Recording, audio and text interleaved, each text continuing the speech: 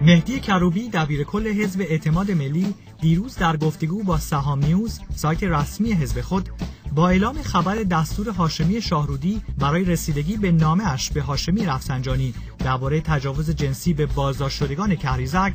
اعلام کرد که ادعایش در این خصوص کاملا مستند بوده است. کروبی با انتقاد از واکنش علی لاریجانی رئیس مجلس و علایالدین بروجردی رئیس کمیسیون امنیت ملی که پیش از این نامه وی به هاشمی را کذب و غیر مستند خوانده بودند گفت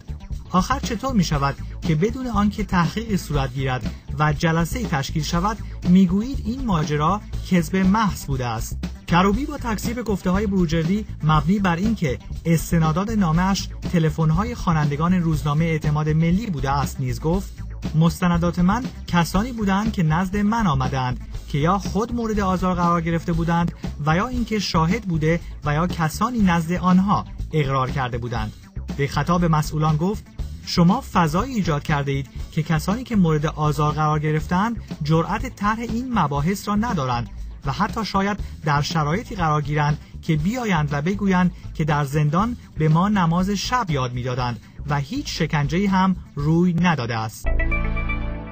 آیت الله سید احمد خاتمی خطیب امروز نماز جمعه تهران نامه کروبی به هاشمی رفسنجانی مبنی بر تجاوز جنسی به بازداشت شدگان را سراسر تهمت علیه نظام جمهوری اسلامی خواند و خواستار برخورد با مهدی کروبی به دلیل انتشار این نامه شد خاتمی این نامه را انحرافی و موجب جشن آمریکا، اسرائیل و بیگانگان خواند و تاکید کرد این نامه با آبروی نظام بازی کرد. این نامه با نظامی بازی کرد که خون 300 هزار شهید پشت این نامه است. ما انتظار از نظام اسلامی داریم که برخورد مناسب و شایسته را به نمایش بگذارد. خاتمی همچنین از قوه قضاییه خواست که با کمال اقتدار و قاطعانه در برابر دخالت‌های کشورهای اروپایی در امور داخلی ایران بایستد و با محاکمه عوامل حادث پس از انتخابات اقدام مناسب را انجام دهد. خاتمی در این باره توضیح داد در این محاکمه ها روشن شد که برخی سفارتخانه های خارجی به خصوص دولت پیر استعمار انگلیس مباشر بعضی از توطعه ها بود این برای دولتی وقاحت دارد که برخی از کارکنان آن در تظاهرات غیرقانونی شرکت کنند این اقدام خلاف عرف دیپلماتیک در روابط است. امام جمعه موقت تهران از دولت و وزارت خارجه ایران نیز درخواست کرد با کشورهایی که وی آنها را استکباری و زورگوها خواند آنچنان قاطع برخورد کنند که از کرده خود پشیمان شده و از ملت ایران عذرخواهی کنند. خاتمی همچنین با اشاره تلویحی به انتقادات هاشمی رفسنجانی از برگزاری انتخابات و رویدادهای پس از آن گفت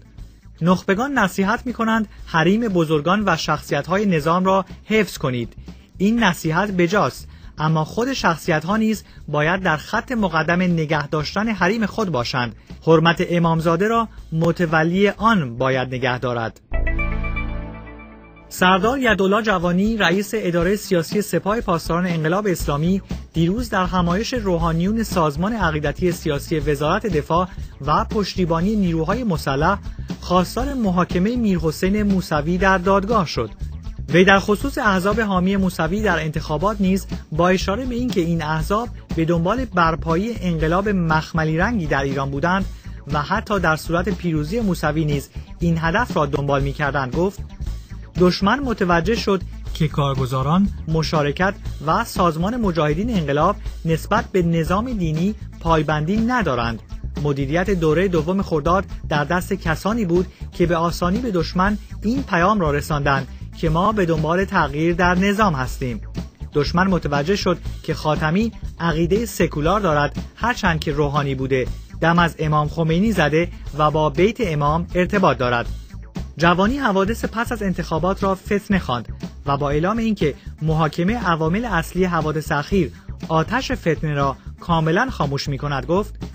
این آتش هنوز خاموش نشده و می تواند در شرایط دیگری دوباره افروخته شود. به همین دلیل باید برای جلوگیری و دفع آن هوشیار باشیم.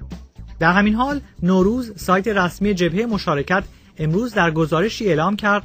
طرحی به شورای عالی امنیت ملی پیشنهاد شده که بر اساس آن میرحسین موسوی و ده نفر دیگر از سران جبهه اصلاحات که برخی از اعضای مجمع روحانیون نیز در میان آنها هستند بازداشت شوند. اما به دلیل عواقب شدید برای کودتاچیان با اجرای آن مخالفت شده است.